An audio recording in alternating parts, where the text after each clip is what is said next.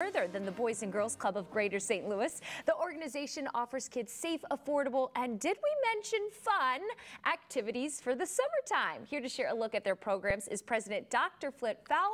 Welcome back to Show Me St. Louis, Dr. Fowler. Thank you. It's great to be back. Well, we love having you here because Boys and Girls Club is the place to be this summer. It really is. There's so many things for young people to do.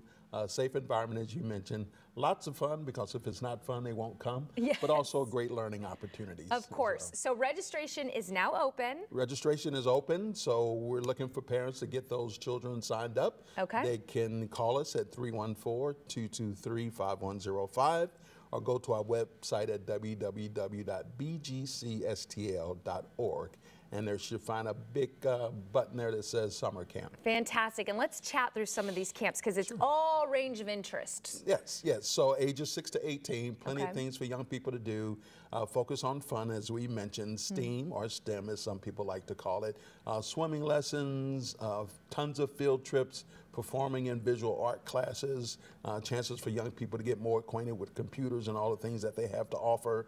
Uh, life skills training, so whether that's financial literacy or interviewing skills, mm. job readiness types of uh, activities that they can get involved with. Resistance training, so how to stay away from drugs and alcohol yeah. and tobacco in a fun way. But these yeah. are lessons that young people need so they can stay safe and so that they can make great decisions. And also the mm. opportunity to interact with their peers mm. uh, in, a, in, an environment where there's, again, they're safe in their mm. supervision all types of recreational games. So the game room, yeah. sports, fitness, and recreation, uh, basketball, baseball, tennis. You know, you name it, they can do it at the Boys and Girls Clubs this summer. Of course, and, and it's a wide range because, as you mentioned, a wide range of ages, but you go along with your age group. So each age group is separate. We do. A lot of our curriculum is built around age clusters. So. Yes a 10 year old and a 18 year old in the same class just wouldn't work. Yes. One, because of their interest, and two, because of the way the material is presented. Yeah.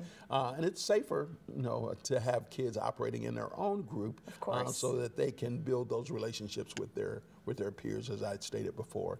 Uh, yeah. So it's a great way to get engaged in the summer. It's a great way for parents to make sure that yeah. young people have access to things that are not only safe and fun, but also keeps them engaged intellectually. And to uh, find maybe a new interest, yes. a new passion, especially with the music studio and the art.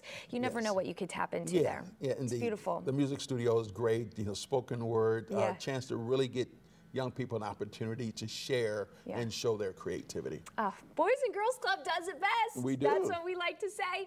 Now, of course, all that information is right there on your screen. They do also have the Teen Center of Excellence in Ferguson, so that's open for ages 13 to 18 throughout the summer. Another great spots to check out. But thank you so much, Dr. Fowler, for joining us today, and we'll be right back.